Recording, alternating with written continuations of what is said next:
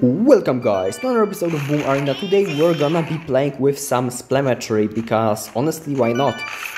Like I've said previously in these types of videos, it's one of the most solid decks in the game ever created, so we might as well just play with it and see what happens. We're gonna be facing in the game number 1 the 77 Gato Gato, how however you wanna pronounce it, and my guess is he's gonna be playing some uh, Super Apes, so we're gonna just block this bomb skeleton from ever accessing uh, crossing our bridge. And actually he's gonna be playing digger instead. So that's gonna be actually a very good uh, sign for us.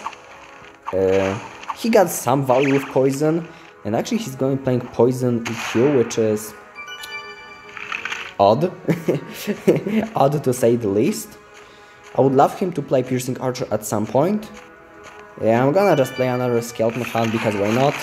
He's gonna be playing Piercing Archer now, and he's gonna be playing Lightning as well, so right now uh, it's gonna be very tough matchup for sure because obviously with uh, uh, with that uh, amount of spells we cannot play passive, we have to like go for some aggression at some point and that's gonna be basically our plan. We're gonna cycle some uh, T-Rex in the back. Um, wait for his response.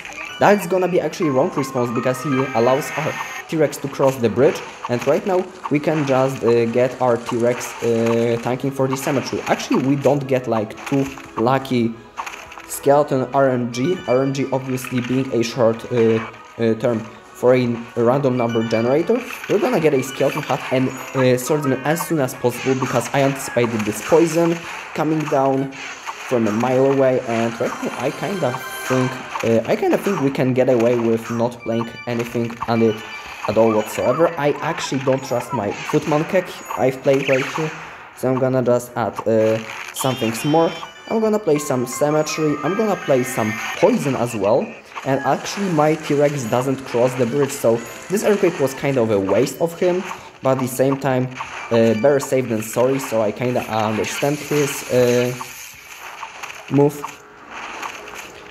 I'm gonna cycle once again a T-Rex because I see that he has a very bad time dealing with them. I'm gonna play a swordsman at the bridge and... Uh, okay, I'm gonna actually get a swordsman right now across and obviously a poison on the piercing archer and he does okay he has poison but he throws it on our viking tower because he doesn't believe he can win. And that's gonna be the first game first down with a Splemetry which like i said is probably the most solid deck uh, in Bo uh, in Boom like ever. If you don't know what to run run Splemetry and the second game of today's video will be against El Vaguer uh, with some handmade emoji so like uh, I'm gonna just throw a poison against this. My opponent will be playing some kind of a steel bait with a, a skeleton hut. Obviously he can be playing whatever because he has 30 medals, so I don't expect them to run real decks, but it still annoys me to see that uh, there are so many people that kinda need a very good decks to dominate the ladder and I'm just posting videos every single day about which decks are the best in the current meta and in overall like Splemetry is not like particularly good in a pro meta right now. But if you're a casual player it's definitely a good pick. So the first tip that I would advise my man would be to subscribe to my YouTube channel. And if you and like get shamelessly plugged in the middle of video because I'm on the. Uh, I would be gladly appreciating all of your support if you were to just subscribe to my YouTube channel and help me uh, reach uh, some goals in my life, like uh, living a life where I can pay my bills by teaching others how to play a strategy games online. Uh, so yeah, I'm gonna just go for the cemetery because I don't see a world where he stops that, or maybe like he can amortize some damage, he actually gets like the biggest splash of the uh, bomb girl that I've seen in my life. On the same note though, he's gonna give me the biggest poison value I've seen in my life, so it kinda cancels out.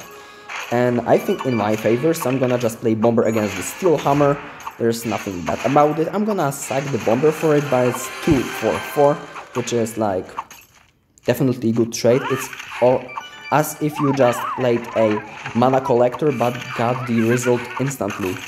It's fantastic. I'm gonna play T-Rex in the back for this Mother Devil. I'm gonna play a Swordsman as well, just starting to build some kind of push.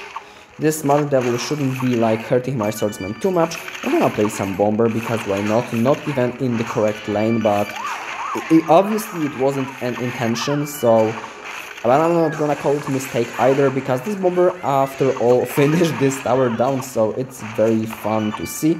I'm gonna play some Cyclone to activate my Viking tower because at this point I have already secured the win and I can do whatever I want to do. So I'm gonna play Poison here because like I said why not. I have the win secured so I can do whatever I want.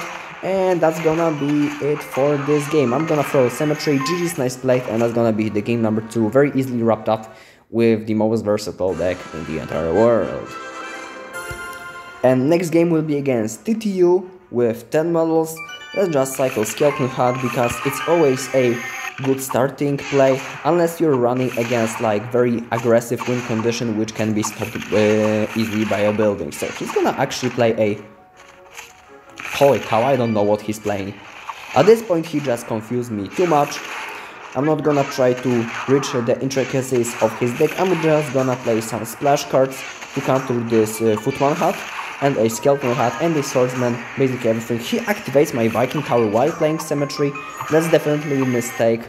I usually don't uh, like playing these uh, these games that kinda end uh, too quickly, but at the same time this time I think it's actually a, very valuable lesson because uh, because of this Viking activation my opponent won't struggle till the end of the game because he will like get eliminated very quickly uh, but at the same time that's the play that can pretty much lose you the game if you're a, a player you basically never want to activate your uh, opponent's Viking tower because if you do, you're already setting yourself uh, for a failure. I'm gonna actually play very aggressively for no reason. I should have definitely waited and yeah, I'm not gonna take the Viking Tower here, and neither I think my opponent wants me to do uh, the thing as well, so I'm gonna just play Poison on this. I don't think it's the best play, but definitely a waiting play, which uh, maybe uh, will piss him off so that he can quit uh, faster. So you never know. I'm gonna play Skeleton Hut and basically prepare to defend against his Cemetery. Uh, if he ever dares to uh, like go across, because I don't think he can ever uh, do. I'm gonna yeah counter his Fun King.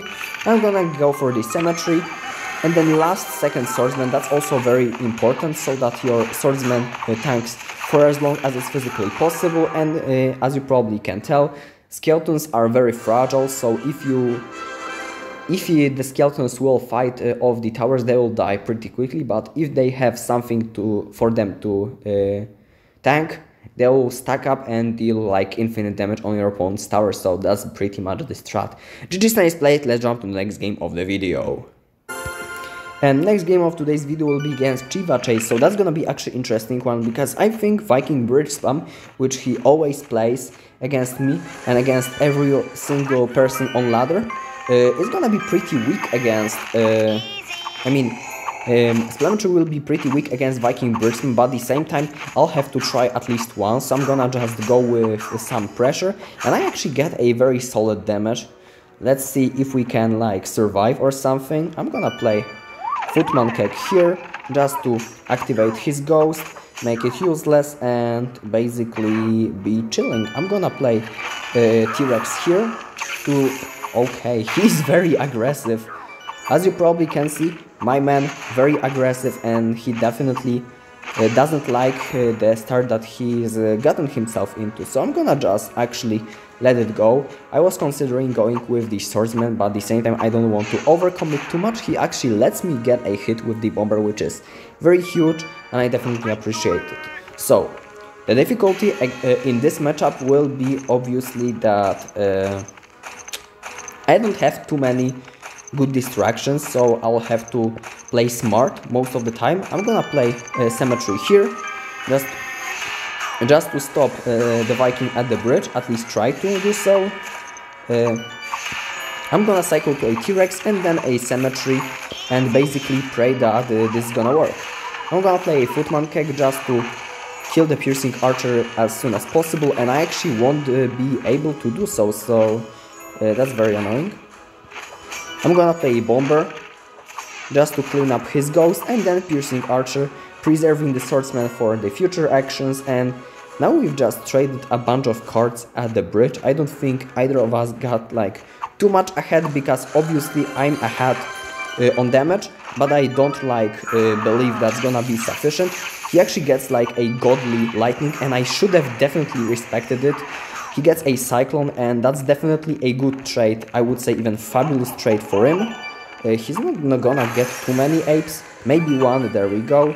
I'm gonna get a poison here right now, because uh, honestly why not? I'm gonna get a swordsman here, and uh, right now we're gonna just uh, awaiting his arrival, because there's frankly nothing I can do about it. I'm gonna uh, play some T-Rex in the back, I'm gonna play poison on his piercing archer, and then I'm gonna just try to uh, basically delete his uh, twins before they arrive. He gets a lot of damage with his pressure, but I don't think... okay. Maybe he can hold this cemetery push, but if he doesn't, that's gonna be very beautiful. So he he actually gets a piercing archer on my tower, which is uh, very surprising. Uh, I'm gonna get a cemetery here with a poison, very aggressive poison, but at the same time it's the poison we need. And at this point, we're in a pickle because we have to play very aggressively if we uh, want to survive. At the same time, you kinda don't want to play too aggressively against Viking Bridge spam, uh, because it might end uh, very badly, uh, very quickly. Uh, I think this uh, T-Rex will be enough to cancel this Viking out. I'm gonna be absolutely correct on this one, and right now I'm gonna just go for another cemetery push. He's gonna be late with the poison and that's gonna be a lot of damage on his tower, so it's gonna be already very cool for me to see it's even lingering still. I'm gonna actually right now just play some things at the bridge because he has to do something if he doesn't want to lose. And he's gonna lose regardless because I was just too aggressive at the bridge at the end and fortunately we're gonna get this game down. I really was afraid of this because Viking Person, like I said, usually scores very, uh, very good against a uh, for two reasons. First of all, you have poison in this deck, so you can just, well, poison the Cemetery every time, and you basically get uh, no damage, so like, kinda Cemetery player is on the clock, while Viking player can just attack, attack, attack over and over, and suddenly he'll just break uh, free, and once he breaks, he just instantly wins, uh, whereas uh, the second way is to just play some troops on defense to defend this cemetery and then like counter push uh, with uh, insurmountable amount of troops and that's scary as well. So two very scary ways of uh, punishing cemetery but we've managed to come out on top. So yeah, very GG's. Let's jump to the game number 5. I've actually realized that in the previous game I went for a very wild round so if you want, rate my run in the comments down below so I can like improve for the next time and at the uh, uh, right now we're gonna be facing E-Dog with 106 medals who's gonna be playing a um, Viking Gunner 2 Tinies deck which is certainly unconventional. Uh, we're gonna be judges of whether it's bad or not. So far we're gonna get a very good trades against what he's doing because we're gonna get some leftover troops uh, from this push and nothing too bad so far. We're gonna actually get the cemetery. I think it's a good uh, way of attacking. His bomber will actually help out this uh, defending the cemetery, but still some skeletons pile up and he should be respecting my cemetery because even though it's usually not a good idea to uh, uh, it's not it's usually not a good idea to uh, play naked cemetery it still deals some damage and you definitely have to respect that right now I didn't have a good way to punish his mana collector so I had to pull out some uh, weird uh, plays right now I should be First of all, this uh, 30 mana behind which I was from the previous interaction, and then I'm gonna be like even more on minus because this interaction wasn't definitely good. I'm gonna be playing a T-Rex here because I think it's actually a uh, good defensive uh, tool here. I'm gonna play a Cyclone to just activate my Viking Tower. It doesn't really matter whether balloon hits or not. It's usually better if it doesn't, but uh, uh regardless of uh, which, I'm gonna get a uh, Viking Tower activation and a Cemetery rolling. And I don't think that was a too good of a Cemetery because I didn't have something for the Gunner on time it definitely got some value for my opponent and that's why uh, this attack wasn't successful at all. I'm gonna cycle another T-Rex because he played Viking and well, Viking doesn't counter air so we might just as well take the take the advantage of that. I'm gonna play Skeleton Hut low. Uh, honestly, I don't have a particular reason why. Also, this poison was absolutely atrocious and I, if I weren't uh, to have like this Footman Keg, it would have been like absolute national disaster. So yeah, right now I have to play a swordsman and he uh, made a huge blunder because I can just poison it, but even going a asymmetry against this would be fine. And I think I'm gonna actually go a asymmetry into what he has because this gunner is not enough to hold this T-Rex and right now he has nothing to stop our push. GG's nice played. I'm gonna leave GG's as well because he played very well Yet I think our tower may be flawless. Like I, I don't I didn't count the damage, but uh, pretty much uh, no uh, threat to our tower whatsoever. So there you have it, one of the most versatile decks ever, Splemetry. If you want to uh, have a deck that you can use in pretty much any meta, that's definitely one of the choices. And if you want to learn it, you can use my video as an example. I've uh, showcased some uh, some important, some maybe less important matchups, uh, which uh, you can use as a uh, example of how to uh, apply strategy of this deck in various situations. So yeah, thanks you for watching till the end. If you enjoyed my content and uh, aren't subscribed yet, you definitely should consider doing so because I upload the content every single day and you definitely can learn something about Boom Arena from them. So yeah, definitely check them out. And uh, once again, first for watching, and I'm gonna see you guys in the next episode of Boom Arena.